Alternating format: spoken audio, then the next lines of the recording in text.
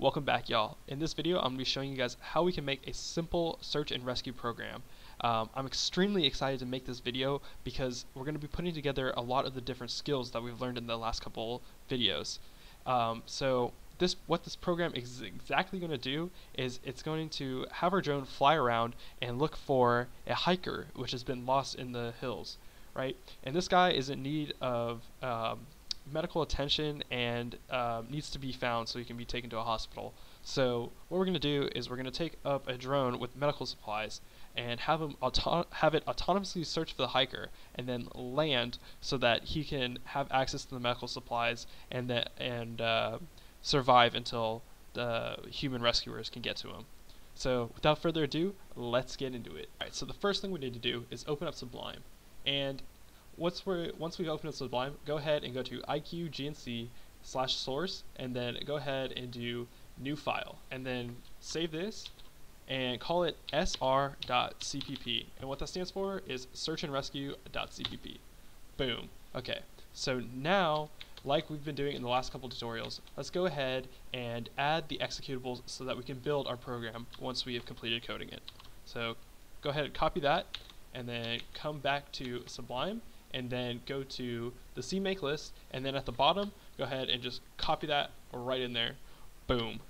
Now that we've set up our CMake list, let's go ahead and go back to the tutorial follow along, and let's talk about the approach that we're going to use to code this up. So the last couple tutorials I have basically cleverly designed so that we can build up to this point. So one of the coding the coding videos I did was how to make the drone go to different waypoints, and then the other coding exercise I did was how we can subscribe to YOLO and get that information into a CPP file.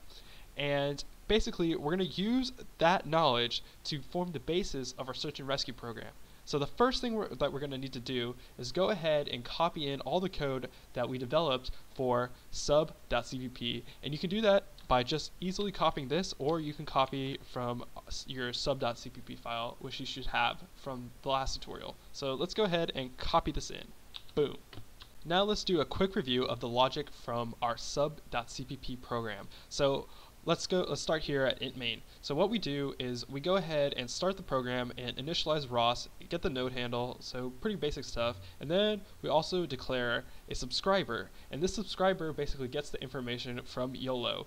And we basically call this, this function every time we spin. And basically this program just does this function ROS spin as fast as possible and calls this callback function detection CB and so every time it uh, spins, it gets the last message that was published from YOLO, and it goes ahead and dissects it using this for loop.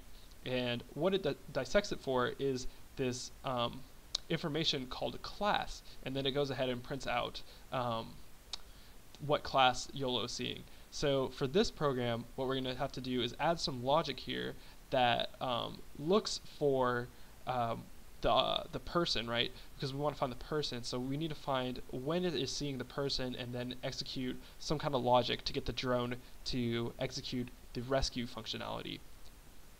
Now let's do a quick review of square.cpp and see what the differences are. So like in sub.cpp, the first thing that happens is it just initializes ROS and gets the node handle. Um, but then this is where things start to diverge. So we basically use um, a bunch of the functionality from the gnc functions.hpp header file. And in this file, we have a couple different things that need to be called every time we start up the drone. So that is init publishers and subscribers, and that basically gets um, access to all of the um, telemetry data that we need for navigation from our uh, flight control unit. And then uh, it basically loops around until it has connection to the flight control unit, and then um, it's going to go ahead and loop around until we um, tell the tell the drone to execute the program by changing the flight mode to guided, and then we'll get out of this loop and start um, navigating. But before we do that, we have to create a local reference frame, which is basically uh, allows us to specify positions with respect to where we started the drone from. So once this is initialized, then we can go ahead and start the takeoff, specify some waypoints, and then go into our control loop. And so I think this right here is probably the biggest difference between subs, uh, sub.cpp and square.cpp. Um, in um, sub.cpp, we basically had the ROS function ROS spin, but in this one we have ROS spin once. And so in between each uh, spin, where we call all the um, all the subscriber uh, callback functions, we do some logic within this control loop. And then we execute all the logic and then go back, spin again, and continue getting information. So now that we've reviewed this, let's go ahead and add all of the um, initialization um, functions that we need.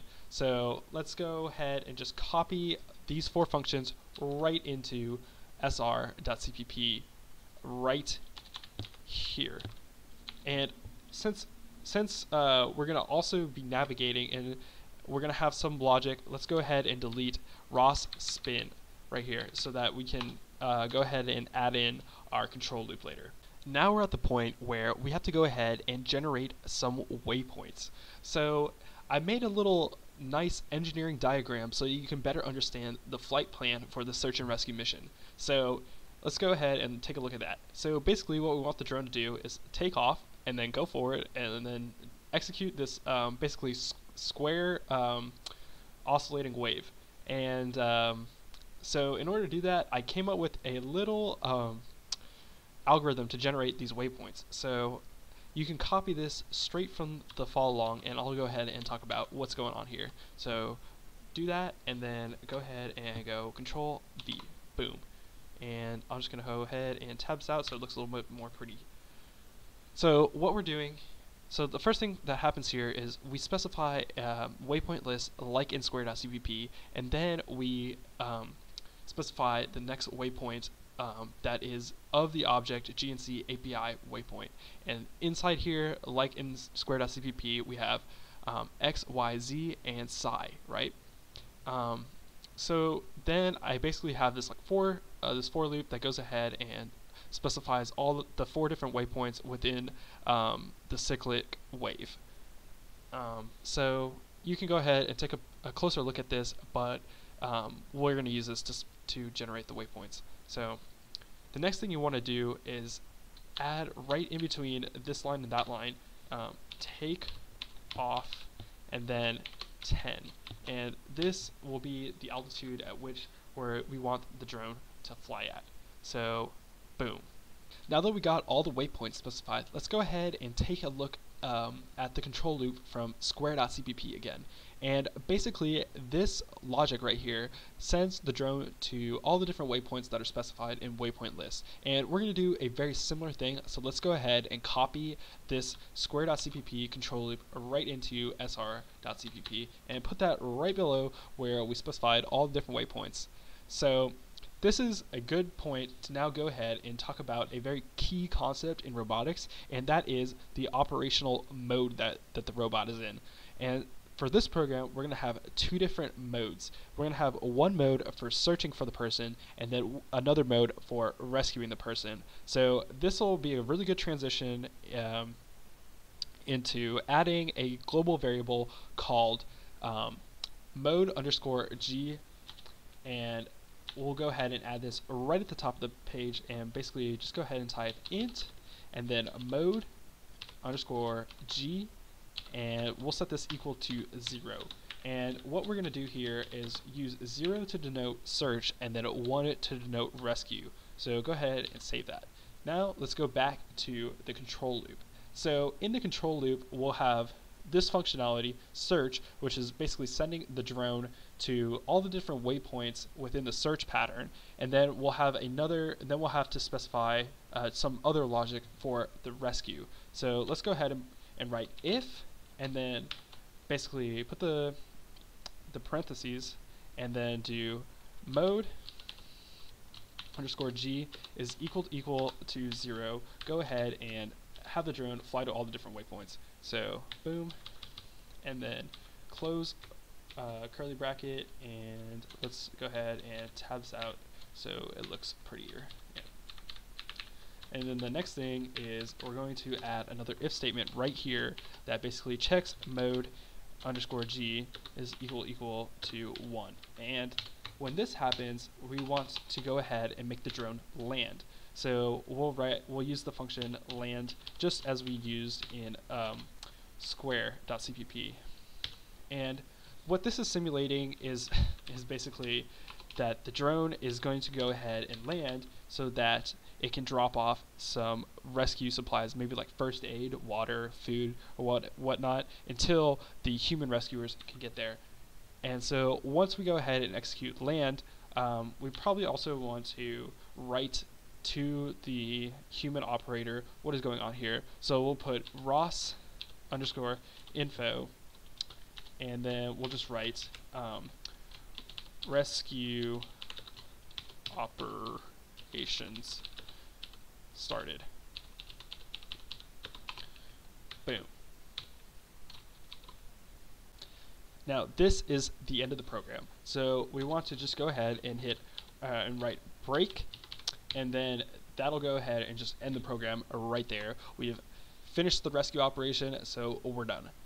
So we have this variable called mode underscore g and we're checking within our control loop for what mode we're in. But now we need a way to change what mode we're in, and that is going to come from um, what we are seeing. And so we need to add an if statement within the detection CB uh, callback that is checking for uh, when the drone is seeing uh, a person, which is our hiker. So let's go ahead and write if, and then um, the parentheses, and we'll go ahead and um, basically kind of copy this logic right here.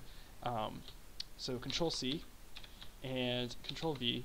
So basically, we're taking the message, um, dereferencing it for the bounding box um, of i and dot class, and then we'll check if this is equal equal to um, the C++ string person.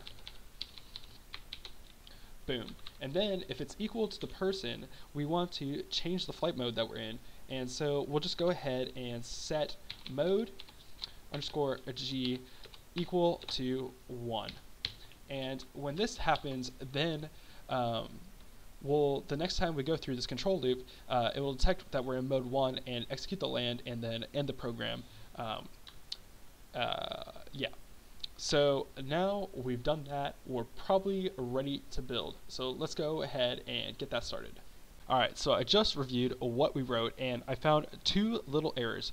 First is that our node handle is uh, incorrect right here. So in this program, we're calling our node handle n, so we'll pass n right into init a publisher's subscribers. So go ahead, save that, and then come up here, and we also forgot to include the include file for all of the GNC functions. So go ahead and write um, hashtag include, and then um, gnc underscore functions dot hpp and we'll go ahead and save that and then go ahead open up terminal cd to catkin workspace and then write catkin build looks like it worked boom Alright, so now we're going to launch the simulation as we've been doing in the last couple tutorials. So let's go ahead and write ROS launch and then IQ underscore, underscore sim and then hills dot launch. And then in, the, uh, in another terminal, go ahead and cd back to the home directory and then go dot slash start and then software in the loop dot sh. Boom. And we'll go ahead and wait for that to boot up.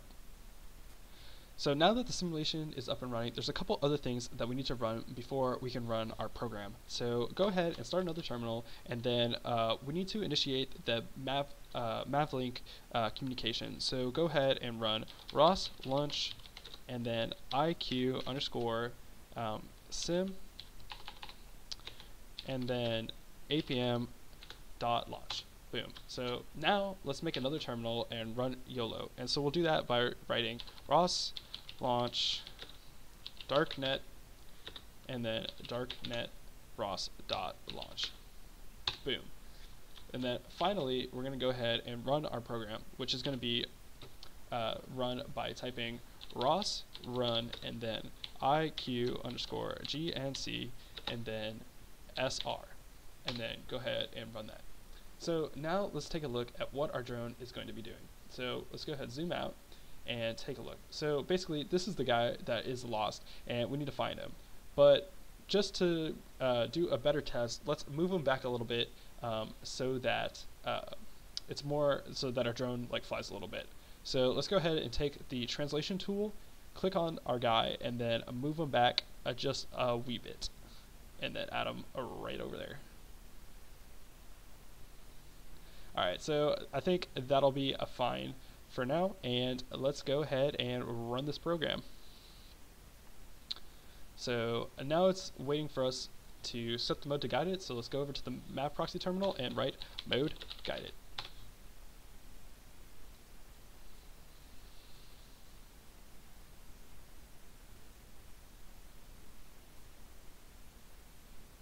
Alright, perfect. The the drone is taken off and we can look at YOLO and see what it's detecting. So it's detecting the truck, and if we look at the outputs from R, it's just detecting the stuff, and the drone is about to fly forward and uh, begin the search pattern.